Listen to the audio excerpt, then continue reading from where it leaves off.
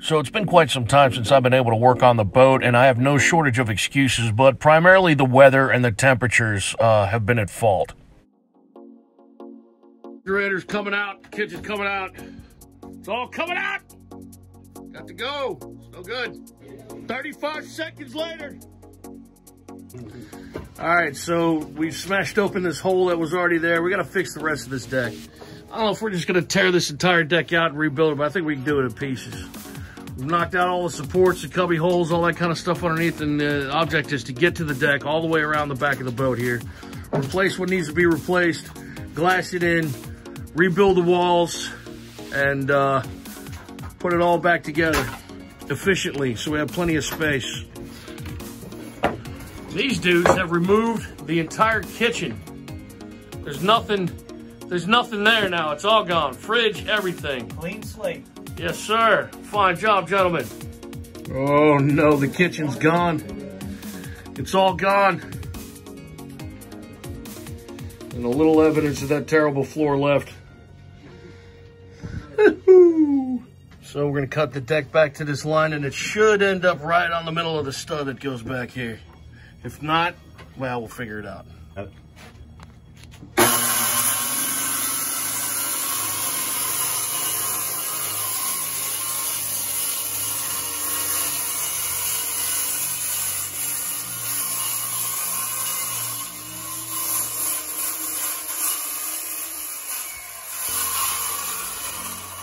We got Bane here. Citizens of Gotham, look at your corrupt politicians.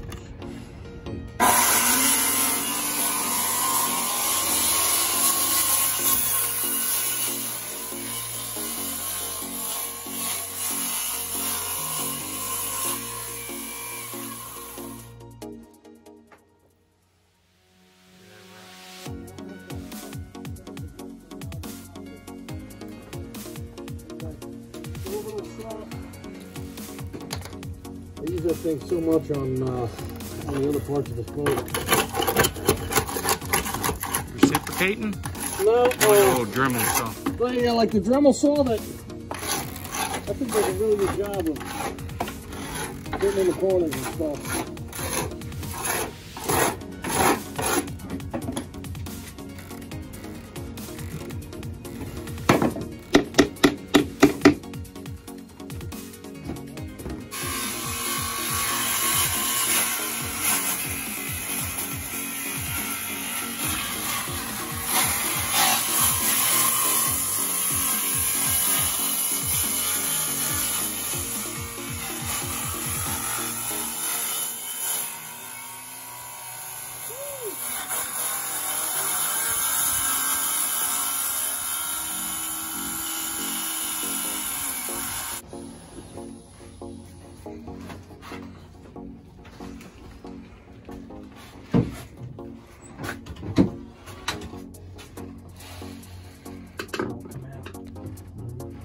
Said it won't come out. I need that uh, hammer.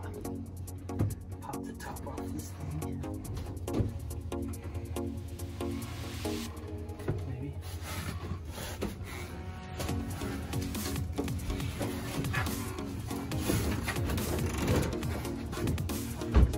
Ripped all this out.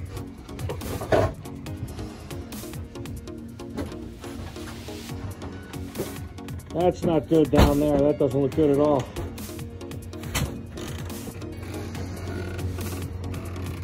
What a show.